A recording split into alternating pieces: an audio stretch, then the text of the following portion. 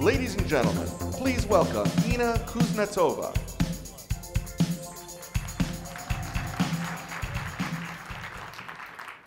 Good morning. So we have a fine tradition at Red Hat meetings of who can spell my name the best. so after you have your first cup of coffee and start kind of opening your eyes and talking to people around, you can start practicing. And I think the fact that so many people showed here 8 o'clock in the morning to listen to keynotes is the best validation of how important open virtualization is. So thank you very much for being here today. And I also want to say that I'm especially proud to speak at Red Hat Summit in particular this year, because 2011 is a very special year for IBM. This year is our centennial. I know some of you think that companies do not live that long, and in fact, none of our competitors, even 50 years ago, are no more, right? But we're still alive and kicking. And in this 100 years, we became, went all the way from a small business uh, selling clocks and scales and tabulating machines to become an enterprise with 400,000 employees and a solid future for the vision.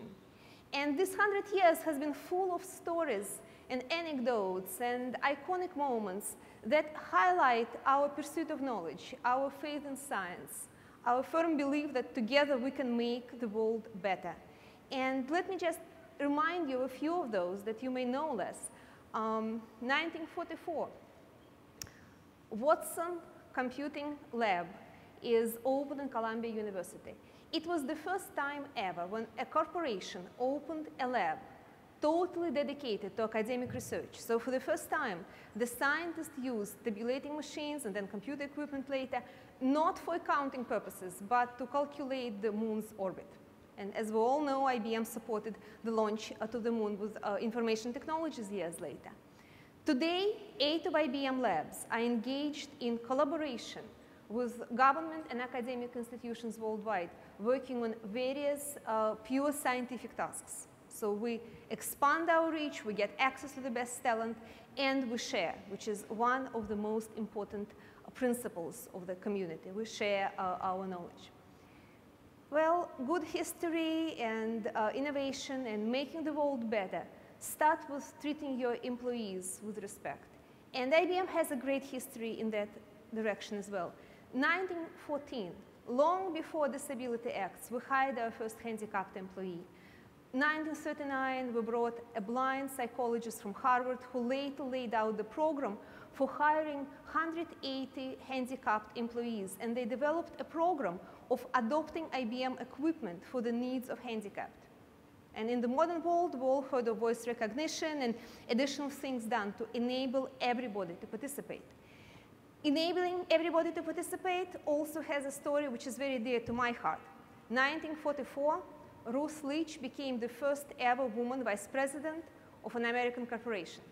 It was IBM. So uh, we have really have a history not only in technology, but in human, uh, in um, human aspects of the world and building the history as we go.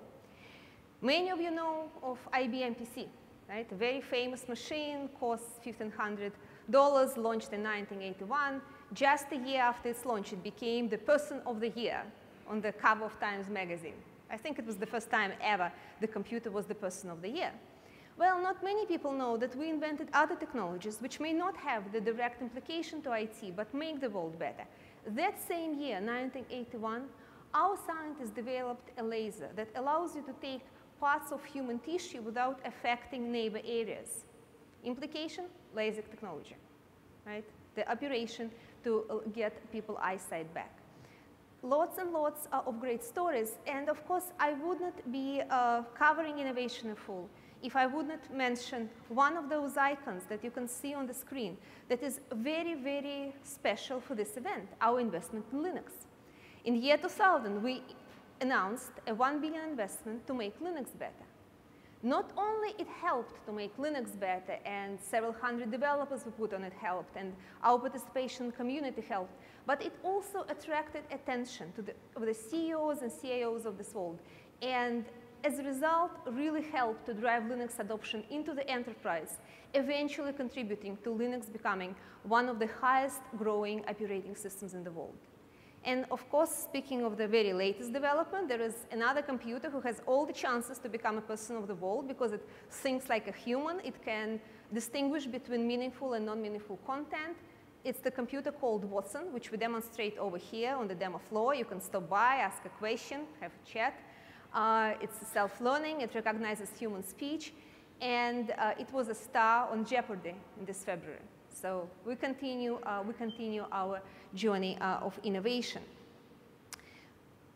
Now, a lot of you, a lot of you know about uh, our participation in, in Linux, but uh, not, uh, you know, our participation in open source spans well beyond that.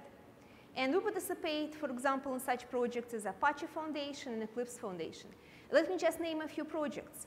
Um, in Apache, uh, Apache Derby, uh, the project to create a relational database with a small footprint, uh, totally written in Java. It started with the contribution of code from IBM, and IBM remained a very active uh, participant. Uh, in uh, Eclipse, uh, Eclipse Higgins, the new project to give users more control over their personal information. Such projects as Java IDE and, um, sorry, there's, a, Eclipse IDE and Java IDE and um, Eclipse uh, rich, rich media content, which is used today in such IBM projects uh, and products as Lotus and Lotus Symphony. So we do not only contribute uh, to the uh, community, we also use the products developed in community. So speaking of Apache, for example, Apache Hadoop, uh, the highest scalable uh, um, computing environment, this is uh, used in Watson, right? Um, OIM is used in Watson for uh, managing unstructured information. So uh, we do not only contribute to the open source communities, we also bring the products from those communities and use them uh, in what we develop. You cannot just be a part of the community and miss the leaders in the community. Not only we became an active corporate user of Linux, not only we became one of the active developers of Linux, we became partners with the leaders in Linux community as well. February 1999, we signed our first alliance agreement with Red Hat, and we have been partners ever since. And partners means going way beyond joint sales and marketing and bringing products to market. We do development together. We partner in developing such technologies as uh, real-time Linux, as um, virtualization and KVM. We test our products in early versions. So whenever we have new hardware developed, Red Hat becomes one of the first companies to test it. Whenever Red Hat has a new version, we become one of the first companies uh, to, to, to, test it on our equipment. And uh, of course, we have uh, ongoing collaboration and we use each other products. So we say that IBM runs on Red Hat, Red Hat runs on IBM. Even Red Hat Desktop is very popular. We have 25,000 users of Red Hat Desktop alone, not to mention multiple projects built on Red Hat server. So I'm really looking forward uh, for this partnership to continue. And today we'll talk about some of the recent products of this partnership that help the adoption and hopefully will help even more in adoption of open virtualization. So this partnership is important not just as a tribute to the organizers of this event. It's important because this is the foundation of making open virtualization set in, um, in enterprise and data center. We're not new to virtualization as well. In fact, the first hypervisor was launched by IBM before I was even born in 1967. And, uh, and I'm sure lots of you can say the same. Uh, so uh, it was the hypervisor for Systems 360. And eventually, a lot of our mainframe customers started using virtualization. And today, a lot of our customers virtualize mainframe on Linux. So for example, uh, coming back to the story of my last name, I have to mention at least one Russian customer, right? I'll choose a big one. Bank of Russia saved 400 million over three years on transaction processing by virtualizing and consolidating their distributed system on two mainframes running Red Hat Linux. And two mainframes are there for security reasons. They're 1,000 miles apart in case of a natural disaster or force majeure. So uh, this is a good example. We have other joint customers of the same size and scale, uh, Bank of New Zealand, for example. So this, uh, this trend continues. Then in 90s, IBM brought virtualization on mid-range, and we virtualized power. And again, today, a lot of power systems host multiple uh, environments, multiple operating systems, System I, uh, AIX, Linux, all running on the same server. And there are some very interesting customers like French Open, who scale up a few times a year when they have events and then scale down and use virtualization very efficiently to manage their system at a low cost. Then going forward in uh, late 90s when the virtualization of x86 started, eventually it was a very painful process. So Xen used paravirtualization, modifying operating system to make it work. But then in 2005, AMD and Intel both added the support for virtualization to their hardware. And that became a pivotal moment because it allowed to run the virtualized environments much faster. At around the same time, the development in open source started. So the KVM community started to form and uh, it was led by a company called Qumranet who leveraged Linux uh, to uh, develop um, KVM, an open source uh, technology. And then uh, in uh, 2007, KVM became the mainstream, became a part of Linux. soon after, Red Hat bought Qumranet, and has been carrying the flag ever since, really uh, investing resources and expertise and driving the adoption of KVM technology through Linux products. And IBM uh, joined as well. In fact, we, in 2009, we significantly increased the number of developers in our labs. We have uh, working on KVM. Uh, we have one of the industry largest teams working on KVM today. We have over 60 programmers uh, working just on KVM. So we truly believe that this product, uh, this technology will continue, uh, that the ecosystem around KVM will grow, and that we will see the same revolution around open virtualization as we saw around open source in the turn of the century, when the investments and support from big companies helped to drive it into the big data centers, into the mainstream, and as a result, attract talent, attract resources, and make the technology better. Why open virtualization is important, right? You can say, well, we have enough of products in the market. A lot of answers are the same as uh, we have been giving for many years about why open source is important, why Linux is important. So I don't think it will be new, and I think it will be very clear. Three things. First of all, choice is good. When you have a technology available from multiple sources, there is a natural competition that makes it better and better. There are more people involved, there is more talent involved. Today you can get KVM as a part of RHEL, you can get it in a stripped down version as REV, you can get it in different ways and this is the foundation of this technology going forward and developing well because it's, it's, it's available from, from multiple, uh, multiple sources and nobody gets locked in. Second, lower costs, right? No license fee, uh, you can get REV without license fee. You can get uh, KVM as a part of RHEL, so it's included in your current subscriptions. Again, great economy, right? We have um, customers uh, who did business cases, and the general opinion is that they save about 50% uh, over three years on using open virtualization versus proprietary technology. You know, 50% is a lot of money to think about. And then the third very important point is interoperability. Today, KVM can host multiple operating systems. You can host Windows environment, you can host Linux environment. And in fact, we think that one of the groups uh, of customers who adopt KVM uh, among the first are those who run a mixed environment. There are lots of customers today who run some applications on Linux, some applications on Windows. So they are uh, the first who start to appreciate the advantages that open virtualization brings to them. What makes a hypervisor ready for prime time. So we come here to the main question of my presentation. And don't ask vendors, ask the customers, right? Uh, the customers drive this uh, evolution today. It's the customers who tell us what they need. So just a few months ago, we got 40 customers at uh, IBM Pulse event. And we asked them that question. We let them talk and we listen, right? And then later we followed up with a mini jam. So those of you familiar with IBM know that now and then we run those online discussions which are very popular. It's like a collective brainstorming of thousands of people. And we get a lot of good ideas through those mini jams as well. So we ran a mini jam on what makes a hypervisor technology ready for the data center, ready for prime time. It all boils down to three things. Performance and scalability, security, especially if you talk about multi-tenant environment and quality of service, and virtualization management.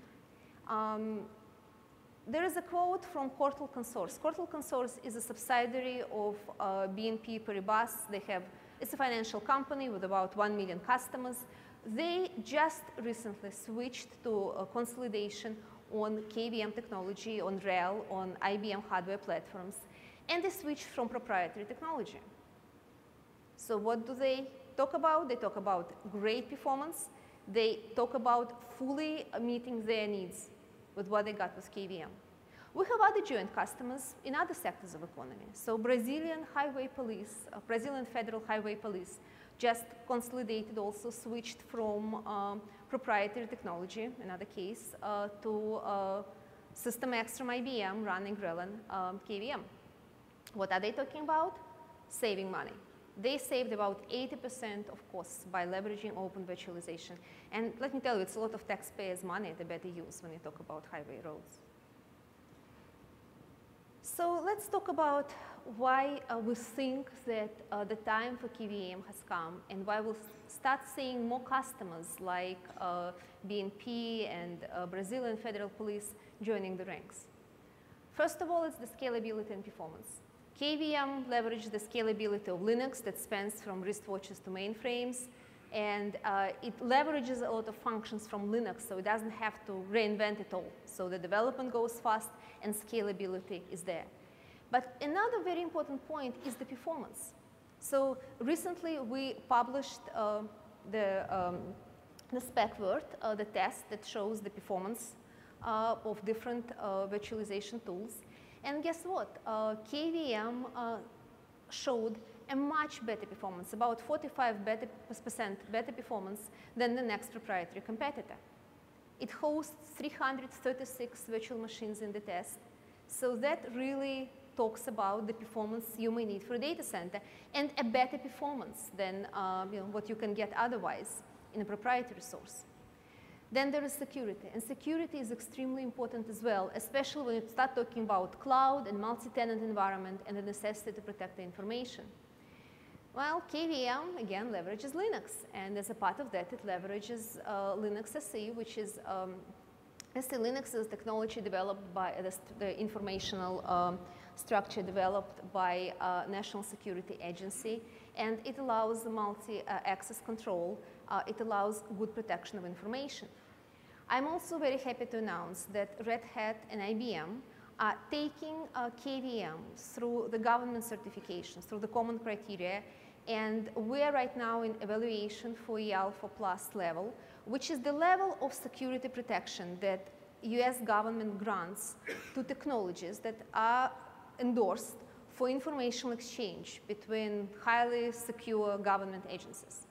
We have had bankers telling us if US government is good for this technology with EAL4 Plus, we're good with this as well, right? There's nothing can be more secure. Uh, so uh, as we know, WikiLeaks and such, this is the human error. This is not the IT technology issue, right? So in technology protection, EAL4 Plus grants the highest level of uh, information protection, and uh, we are looking forward to hear the announcement in evaluation stage for that. We are developing uh, this uh, together, and this is another important statement. When you talk to analysts about why uh, KVM has not got a larger share in data centers, one of the first things they have been mentioning was the availability of systems management tools. Because in a data center, the cost of running the data center, the cost of managing system is very important. The ease of using uh, of managing system is extremely important. And it becomes key not just to the agility of IT system, it becomes key to the agility of the business price overall, to how fast a business can make changes to their IT system. So we partnered to make sure we have a full stack that uh, can offer those capabilities. First, you start with LibVirt, which gives you the uh, remote uh, secure management versus command line. And then you can have graphical interface and uh, virtual machines management through RevM. And then if you install IBM Systems Director with VM control, you can manage a multi-hypervisor environment. You can manage the heterogeneous environments. Part of it may be virtualized on KVM, part on VMware. You can manage it from the single screen, right? From the, would say, single pane of glass. Um, now, if you have a more complex data center environment, if you want to add automation, we bring in Tivoli products. Tivoli and Systems Director are developed in the same labs in IBM. So we make sure that there is no duplication of agents within the stack and the customer gets the smooth uh, running stack with less potential failure points. Uh, offers such functions as automation on top of that. Tivoli offers assets management.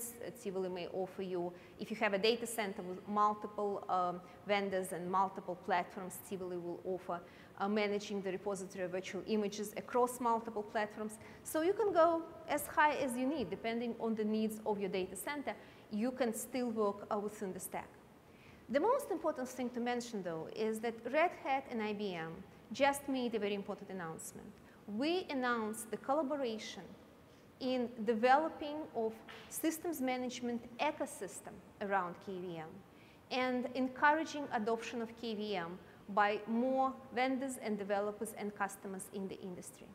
And this work will start with development of APIs. This work will continue around libvirt collaboration. So we want to make sure that the customers get the full benefit of advanced systems management in their data centers and are fully confident that what they can get with KVM is the full value, incomparable, much better than what they can get from proprietary systems. So why all of this is so important? Because the virtualization is the first step towards the cloud. Not all our customers will develop their internal clouds very, you know, right away, but we have a lot, a lot of customers who are engaged in this process right now and who look at virtualization and then systems management and then processes automation as the big phases of their journey to the cloud. They just try to reap benefits at every step they go. But uh, to build the cloud, eventually you have to start right. If the virtualization is the first step to a cloud, then open virtualization is the first step to an open cloud. And this is where KVM comes in. It offers automation. Right? So we talk about improved business agility, and we talked about reducing costs, and reducing costs is important. This is why people build the clouds today, to reduce the cost of the IT infrastructure and increase the speed with which they can make changes to the IT infrastructure, provision new systems. Right? So uh, the whole purpose is there, and um, KVM helps to serve it with lower virtualization management costs, with uh, multi-tenant security built in. Standardization another very important uh, part of building a cloud uh, and providing higher quality services. Um, KVM today supports both Windows and Linux environment. You can guarantee the quality of service for virtual machines. Um, you have functionality such as setting the thresholds for memory and processes for each of the virtual machines. So you have some advanced functionality that really allows you to guarantee the quality of service in a much better way that you can do it with uh, other technologies. And uh, of course, virtualization always means doing more with less, right? Taking the cost out of the system. The cost, the economy of scale uh, through the unit cost on KVM is huge. We talked about the no license fee. We talked about the advantages our customers get. And the high density of virtual machines, right? Back to our performance discussion, 336 virtual machine shown in SpecVirt uh, again, is another way to reduce your costs. You can run more virtual machines on less service, and this is uh, good for our customers. So uh, in conclusion, just let me, let me leave you with a couple of thoughts, right? Open virtualization means choice and low cost. and low cost is very good for the customers, but choice is an equally important issue here, right? The customers do not want to be locked into proprietary technology. They want to have access to open standards. They want to know that as they make big changes to their IT systems, building the cloud, they stay in open environment. And we'll think that KVM is getting ready for business today with the performance and security and scalability and quality of service that it offers. And we will partner with Red Hat to make sure that we get more customers uh, to join and that the ecosystem of KVM will grow and that we will see the same thing that happened in Linux 10 years ago happening to KVM right now. Hopefully, in a few years from now, uh, there will be no need for anyone to come on stage and say, is KVM ready for prime time? Because there'll be no doubt about it. It will be running in, in business centers in, um, in enterprise. So uh, we cannot do this alone. We cannot do this alone with Red Hat. There is a whole ecosystem and community joining around this idea. So please join us in KVM adoption, in KVM development. Join us in building ecosystem around uh, KVM-based systems management because together we can build a smarter planet. Thank you.